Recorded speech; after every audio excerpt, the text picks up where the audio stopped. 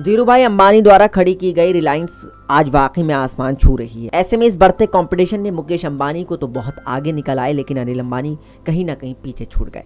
लेकिन आज हम आपको जो खबर सुनाने जा रहे हैं, उसे सुनकर आप थोड़ा सोच में पड़ जाएँगे। आपको बता दें, पिछले कुछ सालों में इन दोनों भाइयों, यानी अनिल अंबानी और मुकेश अंबानी की संपत्ति में करीब 40 अरब डॉलर, करीब 29 खरब रुपए का अंतर आ चुका है। और साथ ही साथ आपको बता दें, अनिल अंबानी की ग्रुप कंपनियों में एक रिलायंस पावर लिमिटेड के शेयर भी रिकवरी नहीं कर पा रहे हैं। इतना ही नहीं, मुनाफे में रही कंपनी रिलायंस कैपिटल लिमिटेड के शेयर भी इस साल टूट गए। लेकिन अनिल के सामने सबसे बड़ी चुनौती बड़े भाई के कारोबार ने खड़ी की। जी हाँ हम बात कर रहे हैं जियो की। जियो के प्राइस वॉर में अनिल की कभी फ्लैगशिप कंपनी रही रिलायंस कम्युनिकेशन लिमिटेड धराशायी हो गई। पिछले महीने आरकॉम ने एक लाख अठहत्तर हज़ार किलोमीटर फाइबर ऑप्टिकल नेटवर्क 30 अरब रुपए में बेच दिया।